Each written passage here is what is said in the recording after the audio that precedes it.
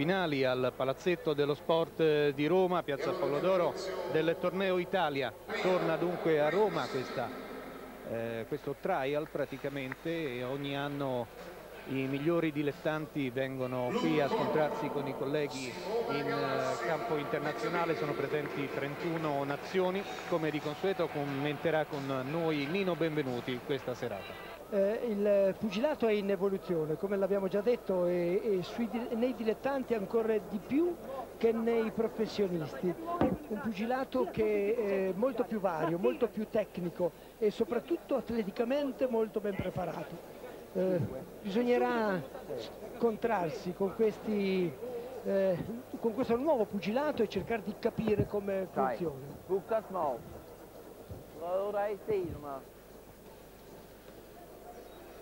Abbiamo visto i due angoli e qui rivediamo i pugni pesanti di Kay Hai capito?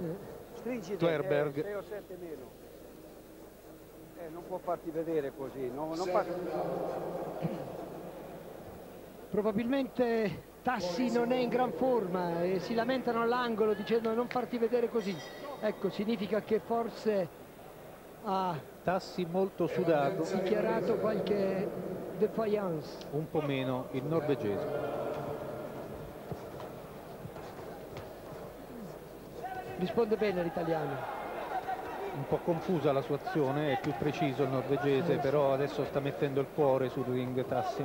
È più composto il norvegese. Si sposta il norvegese destra-sinistra, ma Tassi prova a colpirlo. Dico, bene. Eh no, un Niente. destro tremendo che è arrivato Soffre dall'alto quel gancio destro sì. terribilmente Tassi. Eh sì, lo porta spesso e spesso arriva. Ecco, qui il montante gli ha spostato la testa, sì. sì.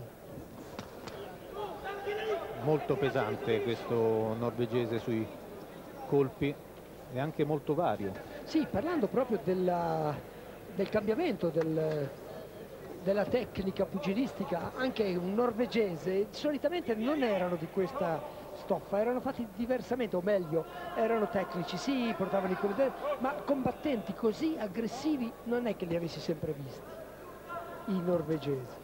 Quindi è una scuola, Invece, eh. come dicevi, in continua evoluzione e sarebbe necessario per i nostri pugili incontrarli, questi avversari, invece di averli a sorpresa poi sul ring delle Olimpiadi.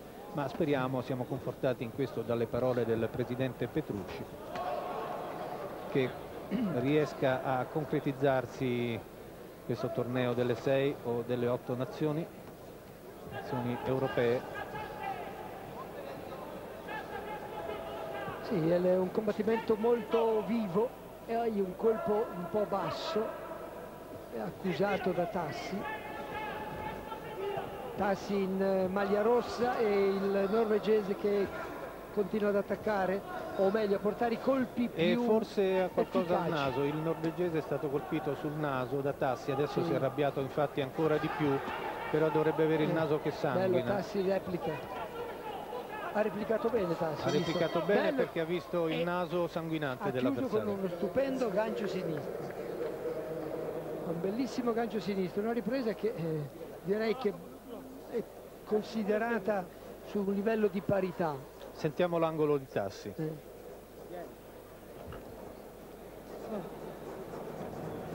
Oh Giovanotto, devi dare tutto quello che hai ora, eh. Però devi tenere. Vediamo se Tassi Non lo so. ha ancora qualcosa da dare. Quarta e ultima ripresa. Quattro riprese sono da due minuti. pesanti vedete i pugni di- del norvegese Considerando che le riprese sono più brevi, invece di tre sono da due minuti, è la ragione per la quale non c'è un attimo di tregua. Due minuti, continua lotta, di continui colpi. Alla ricerca di colpire e di non essere colpiti, che è anche faticoso.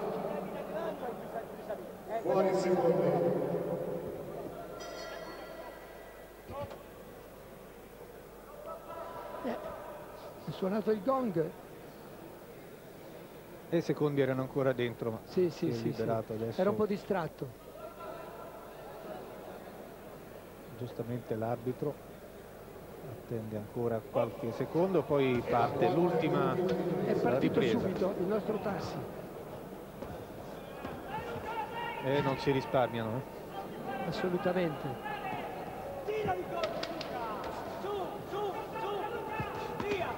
Fa bene Tassi attaccando così e mettendo a segno i colpi prima dell'avversario avendo le braccia più lunghe. Eh, sta cercando il tutto per tutto adesso. E lo stesso norvegese che era così solido sta un attimo... Grande cuore da parte Sì, del nostro Tassi. sì. Grande cuore.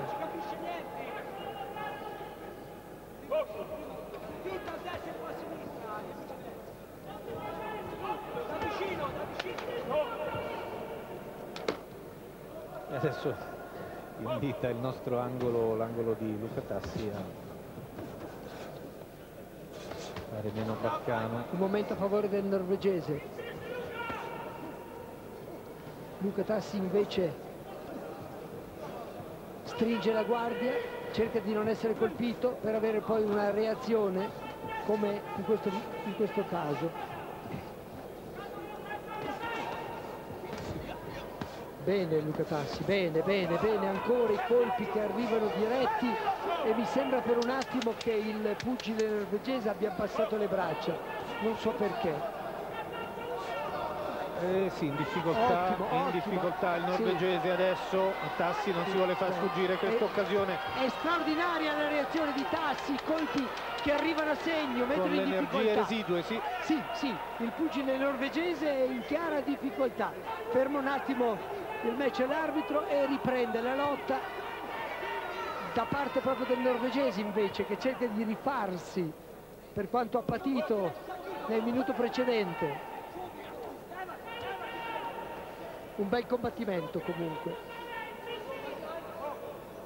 Due pugili direi allo stremo dove hanno dato veramente tutto, quel tutto come diceva all'angolo che avrebbe dovuto dare. Tassi lo sta dando, i suoi colpi partono a raffica e finisce la ripresa, una ripresa che a- in questo caso è a vantaggio e a favore del nostro pugile. E applaudiamo A anche questo- noi con il eh, pubblico a perché questo, veramente... punto, a questo punto io ho un incontro, oh, direi, di parità, perché io ho visto la prima ripresa per il norvegese, due riprese, la seconda e la terza pari e la quarta in maniera chiara però da parte del nostro, per il nostro eh, pugile. Non ti italiano. sbilanciare Nino. Non mi sbilancio, ma eh, d'altra parte, d'altra parte non tutti i giudici sono dello stesso parere sempre, io non sono giudice.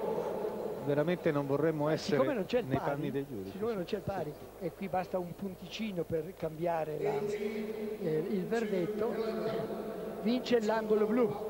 Niente, non ce l'abbiamo fatta.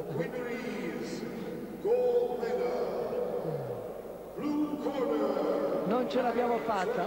Bravo, un bravo comunque a Luca Tassi Bravo, perché bravo. è stato commovente.